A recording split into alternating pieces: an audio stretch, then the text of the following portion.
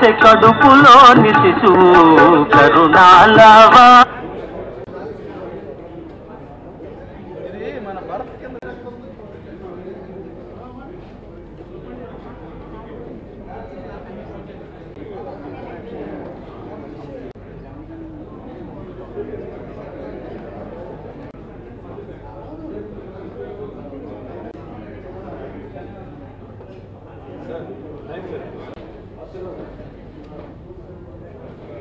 జాతీయ అంతర్జాతీయ Filmfare special award రాష్ట్రపతి అవార్డ్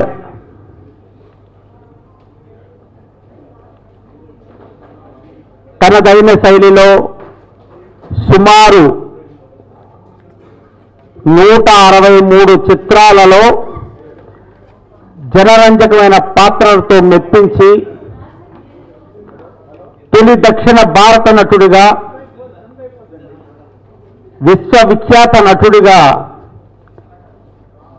మనకి ఎస్వి రంగారావు గారుగా తెలుసు.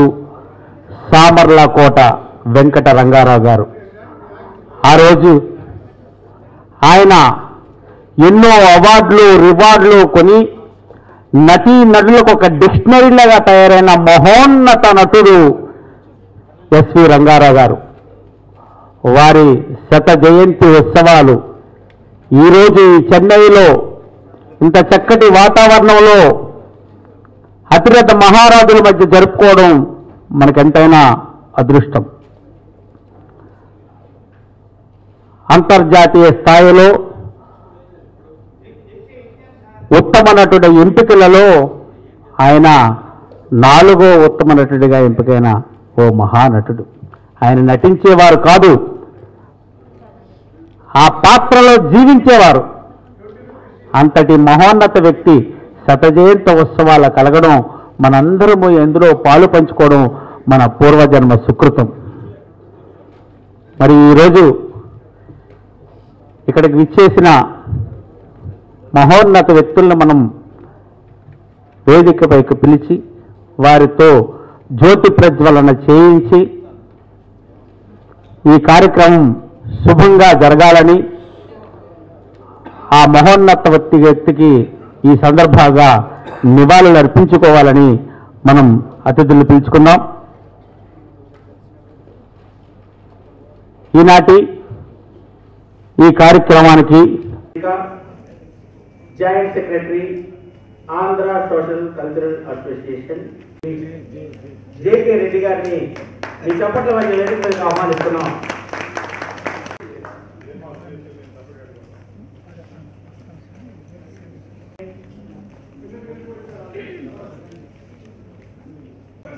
మరొక సంగీత దర్శకులు చెన్నై శ్రీ సాలూరు మాధురావు గారు కూడా చెప్ప ఆధ్యాత్మిక రత్న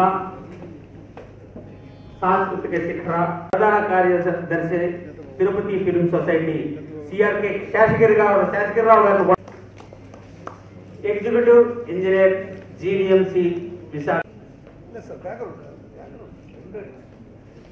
సమైక్య భారతీయ ఆధ్వర్యంలో ఈరోజు ఎస్వి రంగారావు గారి సదస్సు శ్రీ కన్నయ్య గారిని కూడా వేదిక మీదకి ఆహ్వానిస్తున్నాం కన్నయ్య గారు ప్లీజ్ వెల్కమ్ సార్ ఈనాటి రాష్ట్ర గౌరవ అధ్యక్షుడు తమిళనాడు సమైక్య భారతి జి.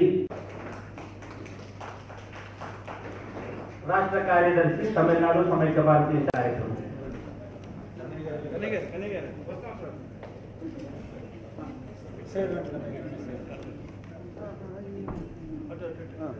సురేష్ రెడ్డి గారు. రత్నకుమార్ గారు. ప్లీజ్ సార్ రత్నకుమార్ గారు మీరు కూడా. ఎం రామరాజు గారు రాష్ట్ర గౌరవ అధ్యక్షులు హైదరాబాద్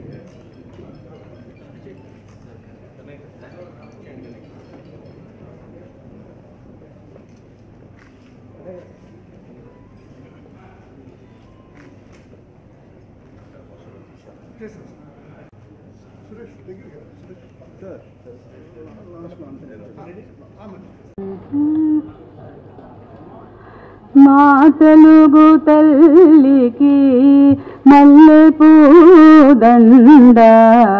మా కన్న తల్లికి మంగళారతులు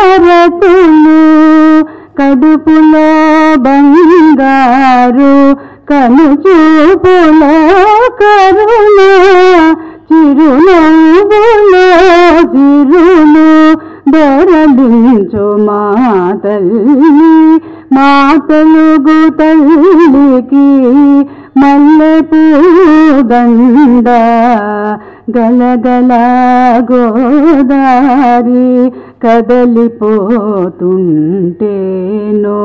బిరబిరా కృష్ణమ్మ పరుగులిడుతుంటేనో బంగారు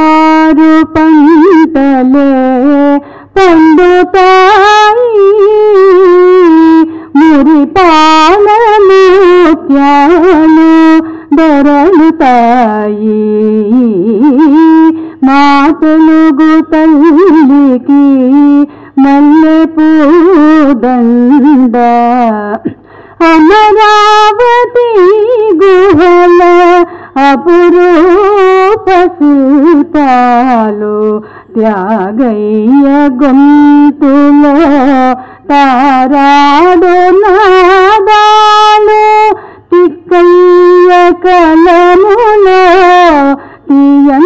తీయందనాలు నిత్యమై నిఖిల నిలచియుండేదాక. రుద్రమ్మ భుజ శక్తి మల్లమ్మ పతి భక్తి తిన్నరుసు ధీయుక్తి కృష్ణరాయల కీర్తి మాధవుల రీ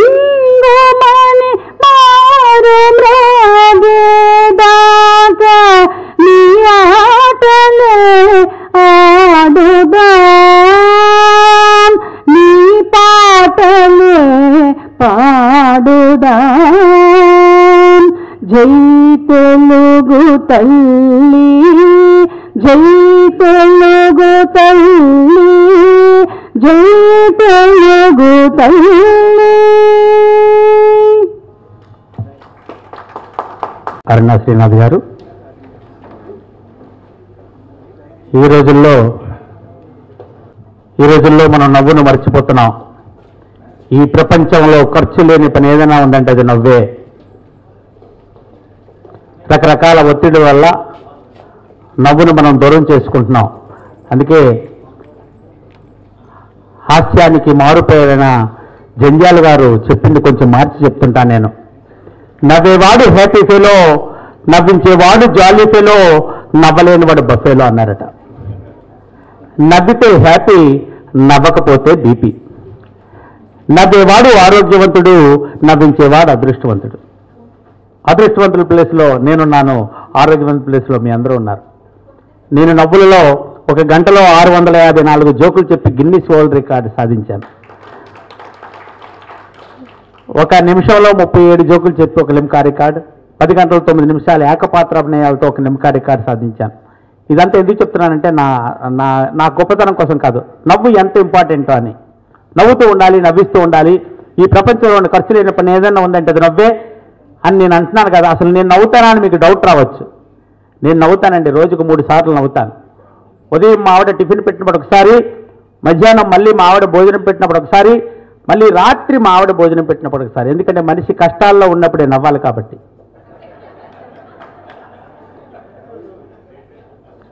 మనకు ఒక అమ్మాయి ఉంటే ఆ అమ్మాయికి పెళ్ళి చేస్తే మూడో రోజు నాలుగో రోజు అత్తగారింటికి పంపిస్తాం.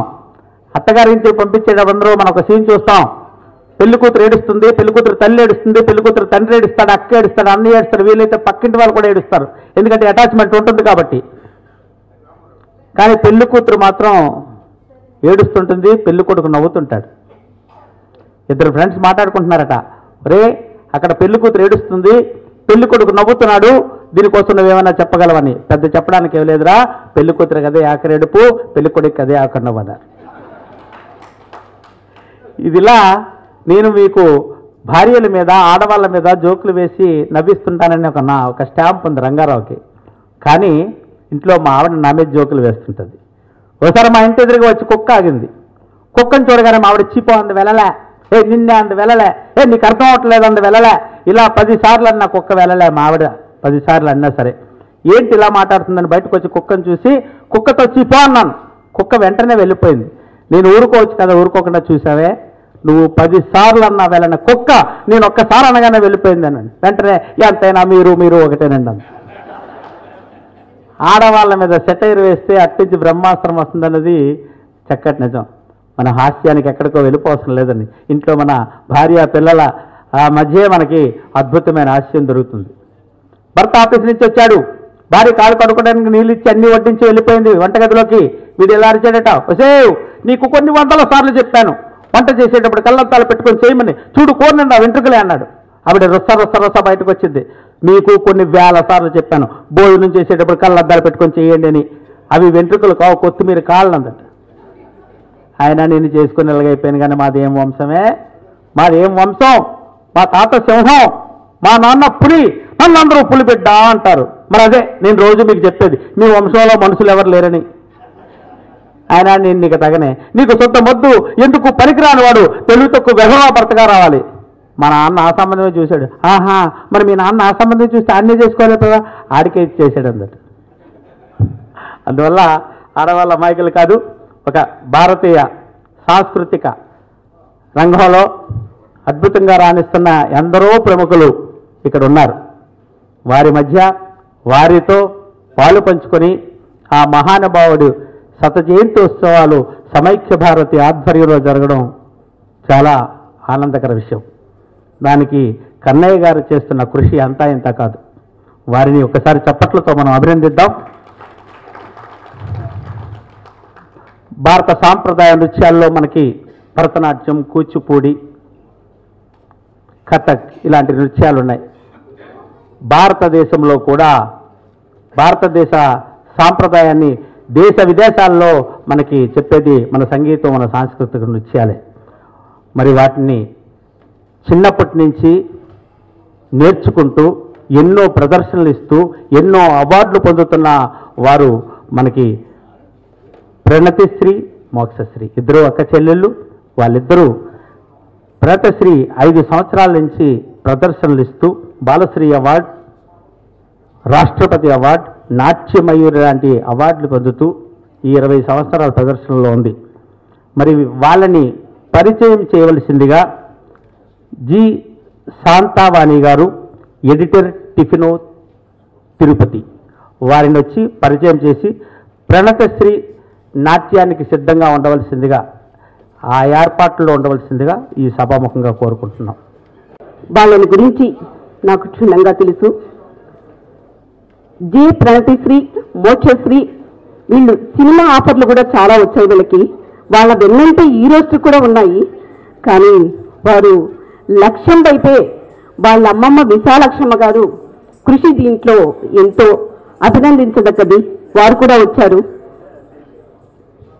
వీళ్ళకి చిన్నప్పుడు త్రీ ఇయర్స్లోనే త్రీ ఫోర్ ఇయర్స్లోనే బాలసూర్య అవార్డ్స్ ఇద్దరు తీసుకున్నారు. ఒక్కొక్కరికి దాదాపు పదిహేను ఇరవై అవార్డ్స్ మినీ రివార్డ్స్ వచ్చాయి. మరి వారిని ఒక్కసారి మీరు తిలకిస్తే నిజంగా మీరే వారిని అభినందిస్తారని ఆశిస్తూ ముందుగా ప్రణతిశ్రీ తన అభినయాన్ని మన ముందు ఉంచబోతుంది.